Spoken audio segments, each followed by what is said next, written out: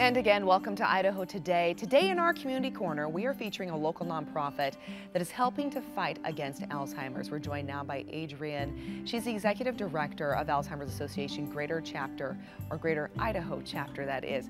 So great to have you join us. Thank you so much. Thank you for having me. This is fantastic. All right, so we want to educate our viewers about the Alzheimer's Association. So give us a little background. What is your mission? So our mission is simple. It's a world without Alzheimer's and all other dementia. And I think that through the work of the Alzheimer's Association, we're actually going to see that.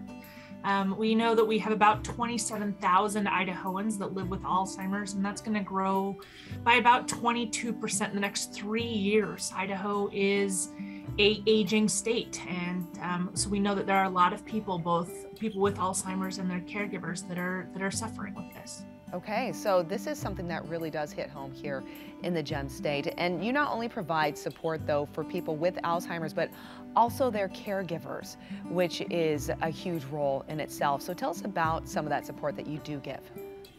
Yeah, so uh, we have we have a number of different information and resources for the over 42,000 caregivers here in Idaho. Um, this disease can be extremely isolating. It can feel like you're all alone. Um, so we not only do care navigation, where we take families by the hand and walk them through the diagnosis, uh, but we also have support groups um, where people get together and talk about what they're going through. We also have community education. Again, one of the things that I hear all the time is, I think I have Alzheimer's because I'm losing my keys, right? Mm-hmm. And yeah. so um, we provide opportunities not only for understanding Alzheimer's dementia, um, but also know the 10 signs of Alzheimer's, where we provide information to the community about Alzheimer's and all those dementias. Great. So there's that awareness out there too, so that if someone, like you mentioned, is concerned, they're able to at least identify and go, oh, can I get ahead of this, right? Because from what I hear is if you can at least acknowledge the early onset symptoms, that there, there might be more you can do. Is that correct?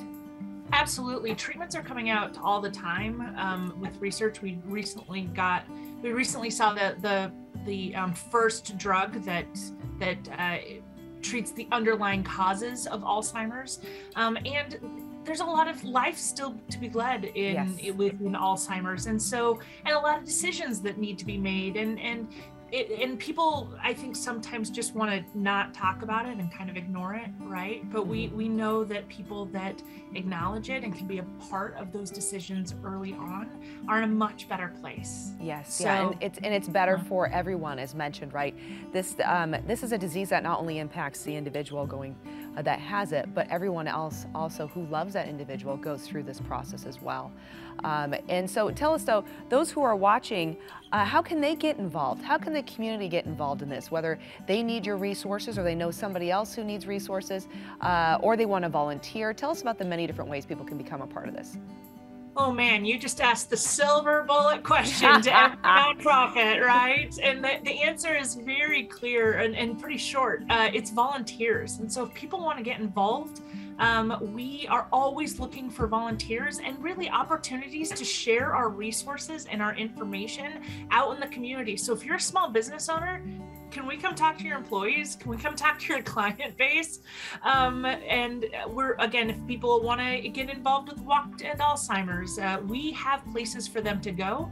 And so, uh, do you want me to give the phone number, the website, what works you best share your contact info right now. You just give it all out. Perfect. Let's do it. It's pretty easy. It's alz.org slash Idaho, or you can call the office at 208 206 0041. And we will we will we will help you out. Excellent. And then too, if people Google Alzheimer's Association of is it Greater Idaho, will they yep. then find your branch? Yep, absolutely. And like I said, if it's alz.org slash Idaho, it's pretty easy to find us. All right. Thank you so much. Greatly appreciate it. And uh, I know a lot of people are going to be reaching out to you and uh, really appreciative of all that you do in our community. So thank you. Oh, thank you so much for this opportunity. You really got it. Okay, you take care. Bye-bye.